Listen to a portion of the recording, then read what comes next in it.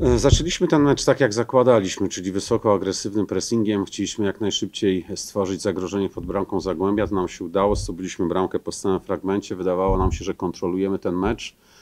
E, W tej pierwszej połowie stworzyliśmy jeszcze sporo tych sytuacji. Druga bramka Żał Amarala, później poprzeczka, słupek po strzale samobójczym Zagłębia. Wydawało się, że e, no, ta trzecia bramka by na pewno zamknęła ten mecz, ale nie udało nam się zdobyć tej trzeciej bramki. W przerwie uczulaliśmy się bardzo mocno. Wie, wiemy, że Zagłębie ma bardzo dobre wejście w drugą połowę. Tak było chociażby w ostatnim meczu z Arką, gdzie po zmianach Darka Żurawia Zagłębie stworzyło 4-5 stuprocentowych sytuacji. E, No i niestety nas też to spotkało. Dwie bramki po stałym fragmencie, które wprowadziły bardzo dużo nerwowości w naszych szeregach. Zafundowaliśmy sobie niepotrzebnie sporą dawkę nerwów. Przy tym wszystkim doszło, bo stwarzaliśmy sobie sytuację, ale doszła bardzo duża nieskuteczność. Myślę, że dzisiaj byliśmy zbyt egoistyczni w polu karnym. Zabrakło współpracy i, i, i poszukania lepszego rozwiązania.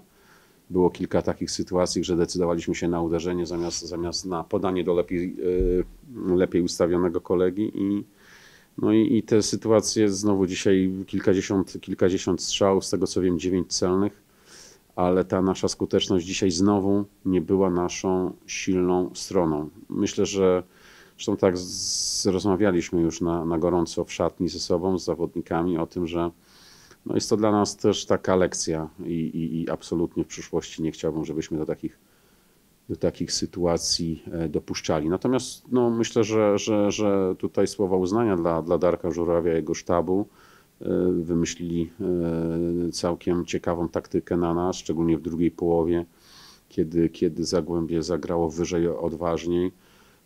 Trochę, trochę nam to sprawiło problemów. Też między innymi musi, musiałem zdecydować się na zagęszczenie środka pola i wpuszczenie Nika Kwekweszkiriego kosztem takiej typowej ofensywnej dziesiątki. To uspokoiło ten środek boiska, bo tam troszkę, troszkę za dużo przestrzeni się pojawiło i to, to, to nie było dobre. E, także no, summa summarum cieszymy się z trzech punktów. E, bardzo ważne wyjazdowe zwycięstwo na pewno. No ale, ale wnioski na przyszłość musimy z tego meczu wyciągnąć. Dziękuję. E, panie redaktorze, niestety mamy uraz mięśniowy. Radka. Radek musiał zejść w przerwie, żeby nie pogłębić tego urazu. Także niestety to była zmiana wymuszona i, i nawet nie potrafię odpowiedzieć, jak poważna jest to kontuzja. Jest to świeża sprawa, także będziemy mądrzejsi dopiero jutro po zrobieniu badań. Tak, oczywiście, dokładnie tego samego sformułowania użył, użył tuż po meczu ktoś, ktoś z członków sztabu o tym tlenie. Także to trafna, trafna, trafna ocena tej sytuacji. Oczywiście, że, że nie podoba mi się to, że nie potrafiliśmy tego meczu wcześniej zamknąć i, i, i go kontrolować spokojnie. A, a, a daliśmy Zagłębiu możliwość, że do ostatniej minuty praktycznie mieli szansę na, na, na, na remis. Dla nas strata dwóch punktów w tym meczu byłoby, byłaby no, czymś bardzo, bardzo, bardzo e, złym. No jeszcze za szybko na pewno ta strefa na długim słupku troszkę, troszkę zawiodła. Natomiast e, no, kiedyś musieliśmy stracić te bramki po stałych fragmentach, natomiast no, dwie no, to na pewno jest trochę dużo w jednym meczu. To znaczy, że, że musimy tutaj szybko to przeanalizować, wyciągnąć wnioski, jak, jak szybko pomóc drużynie, jak zareagować z ławki na, tą, na tę sytuację, bo no, faktycznie dwie bramki po, po rzucie rożnym, no, tego do tej pory nie doświadczyliśmy. E, Panie redaktorze, żeby tak w pełni precyzyjnie odpowiedzieć na to, na to pytanie, muszę, muszę, muszę kilka sytuacji na spokojnie przeanalizować. Na, na, tak na gorąco z boiska, z ławki miałem wrażenie, że tak jak powiedziałem, zbyt egoistycznie się zachowywaliśmy w pewnych sytuacjach w. E, Chociażby ta sytuacja Mikaela Iszaka w poprzeczkę, gdzie mógł podać do, do Kamińskiego ustawionego w sytuacji, gdzie miałby do, do pustej bramki, prawda?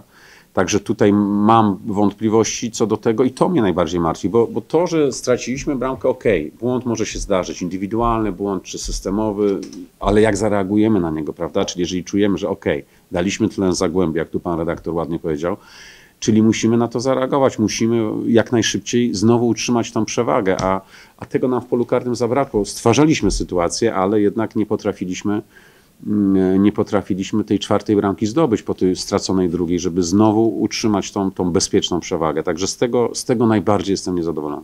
Na chwilę od, odsunę, odsunę emocje po tym spotkaniu i muszę powiedzieć, że mam ogromny szacunek i, i wyrazy uznania dla, dla zawodników Lecha za tą rundę. Wykonali wspaniałą pracę w tych 17 meczach. To jeszcze nie jest pora, żeby ich chwalić i tak dalej, bo jeszcze dwa mecze przed nami, ale jeżeli podsumujemy tą pierwszą rundę, tych 17 meczów, jest to, bym powiedział, że w wielu aspektach drużyna mnie zaskoczyła na plus. Na plus i, i, I tu naprawdę tak samo praca sztabu, to wszystko razem spowodowało, że jesteśmy na pierwszym miejscu i, i tego całej ekipie gratuluję. Cieszę się, że to tak wygląda po tych 17 meczach, ale wciąż praca do wykonania przed nami.